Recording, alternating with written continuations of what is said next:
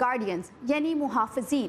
یہ نام دیا ہے ٹائم میگزین نے اس سال کے پرسن آف دی ایئر کو، جنہوں نے دنیا میں سچائی کے غلط استعمال اور استحصال پر سے پردہ اٹھایا اور سچائی کے خلاف جنگ کا سامنا کیا۔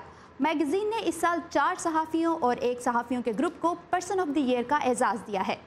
ان صحافیوں میں سب سے پہلے ہیں واشنگٹن پوسٹ کے صحافی جمال خشوک جی ٹائم میگزین کے مطابق جمال نے اپنے ملک کی حکومت کی زیادتیوں کے خلاف آواز اٹھانے والوں کے ساتھ صفاقی کا پردہ چاک کیا اور خود ہی اس ظلم کا شکار ہو گئے۔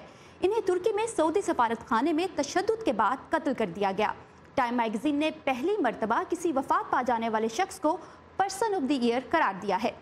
فلپائن کی پچپن سالہ صحافی ماریا ریسا جنہوں نے فلپائن کے صدر راڈریگو ڈیوٹرٹے کی جانب سے شروع کی گئی منشیات کے خلاف جنگ کے دوران ہونے والی زیادتیوں پر آواز اٹھائی۔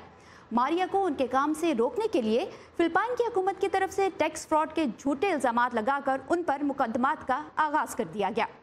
تیسرے نمبر پر ہیں۔ روئٹرز نیوز ایجنسی کے دو صحافی جنہیں میانمار میں روہنگیا مسلمانوں پر ڈھائے جانے والے مظالم کی رپورٹنگ کرنے کے جرم میں گرفتار کر لیا گیا ہے اور ملک کے قانون کو توڑنے کے الزام میں سات سال قید کی سنا، سزا سنا دی گئی ہے۔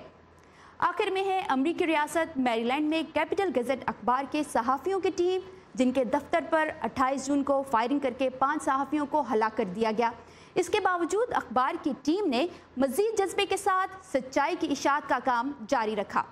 یہ دوسری مرتبہ ہے جب ٹائم میگزین نے ایک گروپ کو پرسن آف دی ایئر قرار دیا ہے۔ اس سے قبل گزشتہ سال می ٹو مومنٹ کا حصہ بننے والی خواتین کو یہ اعزاز دیا گیا تھا۔